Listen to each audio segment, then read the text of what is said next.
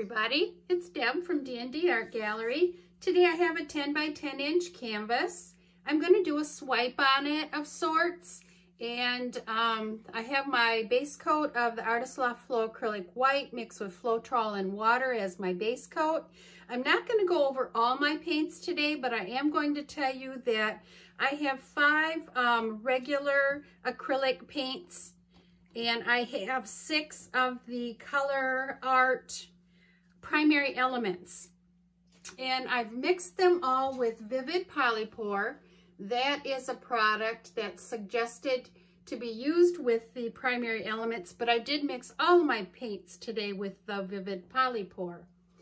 And um, I did thin uh, my uh, Colourarte primary elements with the Josonja gloss varnish and water.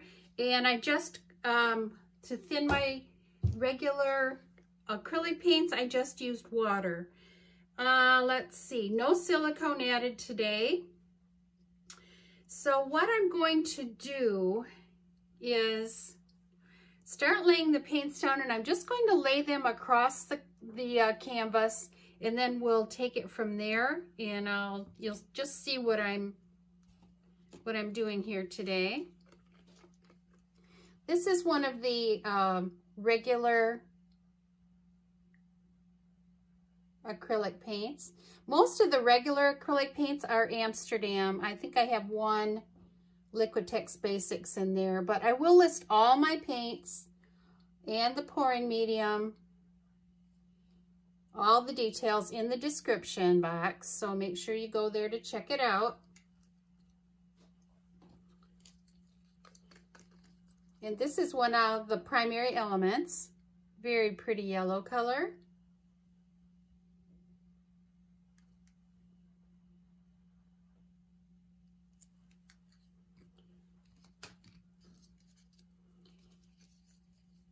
This, I believe, is the Liquitex Basics Cadmium Orange Hue. If I do know the name of the paint as I lay it down, I'll let you know. And that, that other greenish uh, yellow is from Amsterdam. Um, let's see. Now I'm going to lay my red. Again, this is this is Amsterdam Carmine.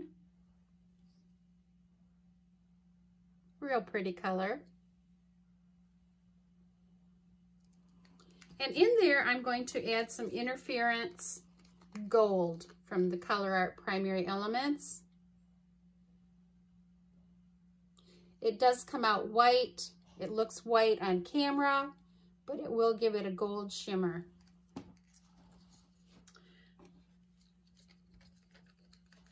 And this is the Emerald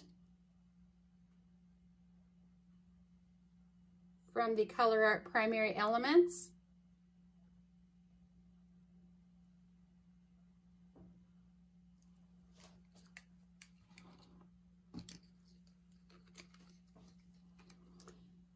And I am not sure what this real pretty blue color is off the top of my head, so we'll have to check the description box for that one.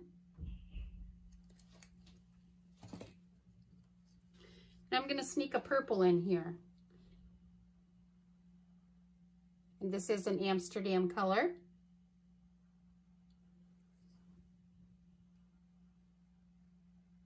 I should show you consistency here. Just leaves a little trace and then disappears.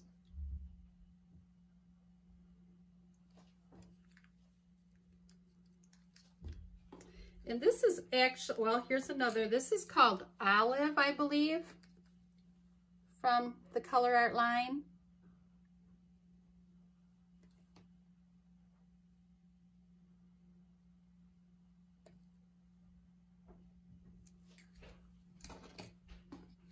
And the last one is their black. Another Colourarte product.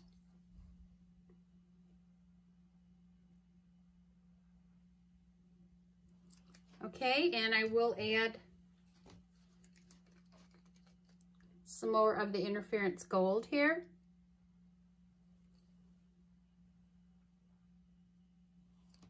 And I'm going to repeat my colors now, but I'm going to go in the opposite direction. So I'm going to start back with the, I'll start with the olive here again.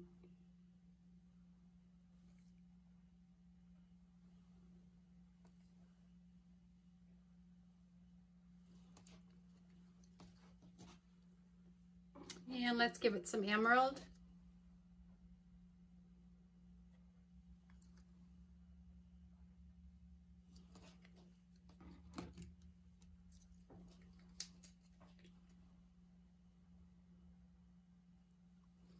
This is an Amsterdam blue color.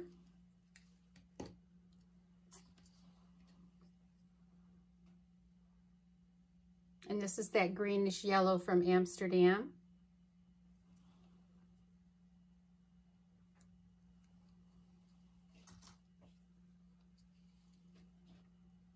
And again, the red, the carmine.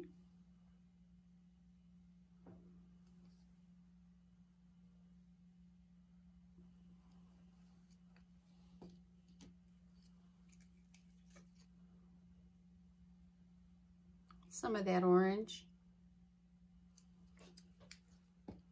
Some of this beautiful yellow.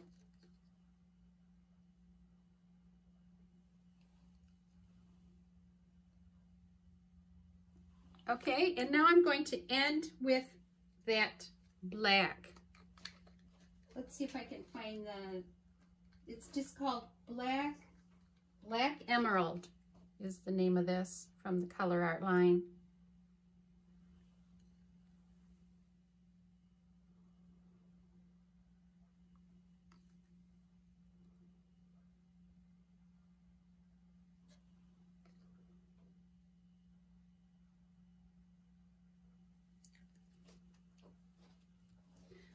And where I did drop some paint, I am going to clean that off because I do want it to be just the white.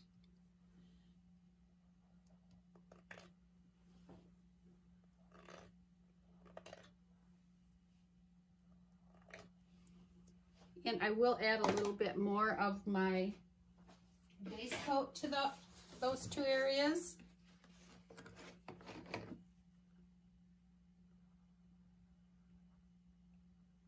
And I'm going to add a little bit more here too.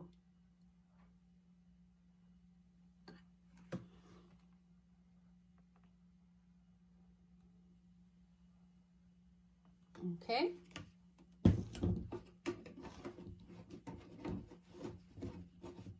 And now I'm just going to smooth that out because I'm going to be doing a little bit of tipping here. I think that will be my last thing to do. Okay, as you can see, I'm getting almost like fractals here off that black, which is so pretty.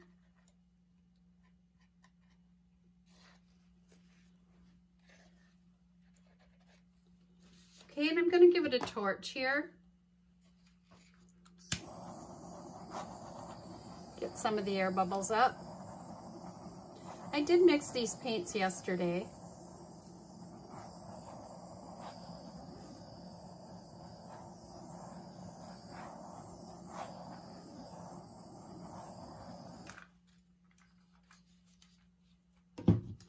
Okay, and I do have some cards here that I, just little plastic cards that I made up. And I'm just going to do a little bit of swipe here. Just to blend these colors a little bit.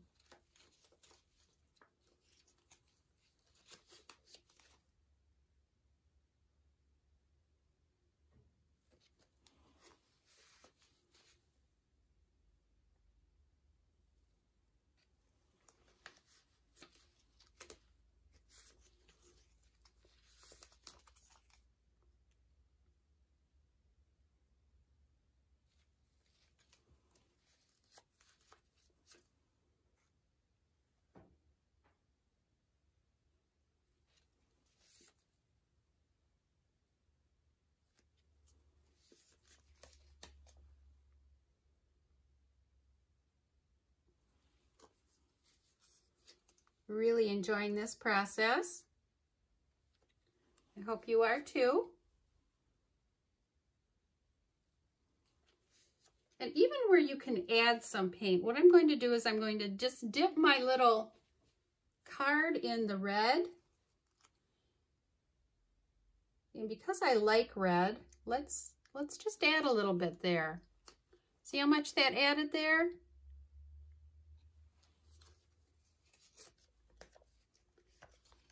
And I'll just run it across there again, smooth it out. So very pretty.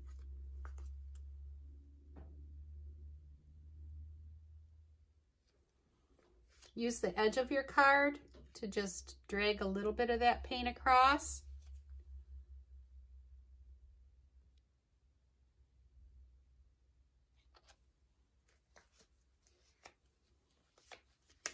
Okay, I think I have a real little card here. I do. Let's just give that a try.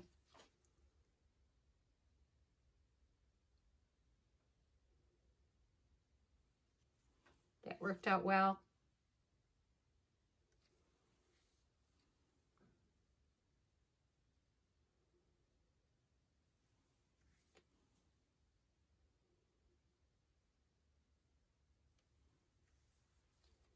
Okay, Gonna give it another torch here.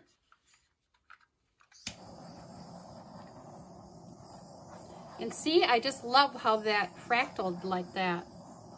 Just gonna do a little bit of tipping. And I think I will tip it this way. I'll let you see that though. Let me turn it the way I will tip it here as I think this would be the top. Just going to let a little of that go down.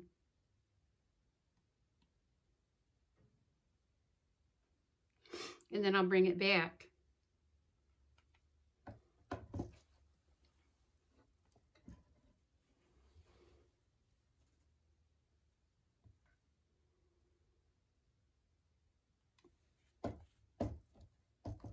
Okay, I'm really loving this.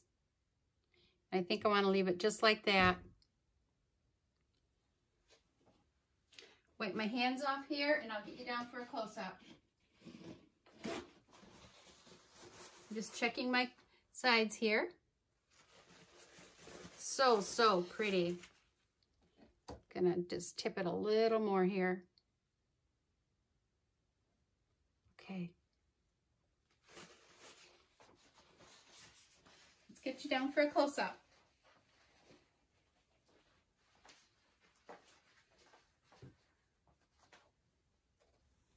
Okay, here we are for our close-up. Again, this is a 10 by 10 inch canvas. And I was thinking about this, the black, the emerald, uh, the black emerald, excuse me, the Colourarte uh, primary element. And the reason it fractaled like that is because my white base coat was a lot thinner and it just allowed it to branch out like that. So pretty. What a nice effect. So this is the upper left-hand corner. You can see a lot of that shine in there from the, from the primary elements. Again, you can see the green is really shining through. And that black looks like diamonds in there. This is the lower right, our left-hand corner, excuse me. I'll take you up the middle here. You can see some of the shine in there. Just glistening.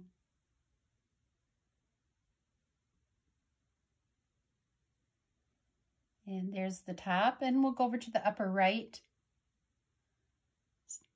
What a nice effect that is. And we'll just go down the right-hand side here.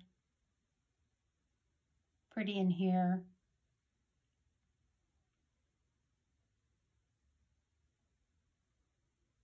Pretty in here too. And this is the lower right hand corner. So let me know what you think of this video and give me a thumbs up if you like it. Make sure you share it. Ring the bell, choose all so you know the next time that I do post a new video. Subscribe if you haven't. That would really help out my channel. And until next time, take care, everybody. Thanks for watching. Bye for now.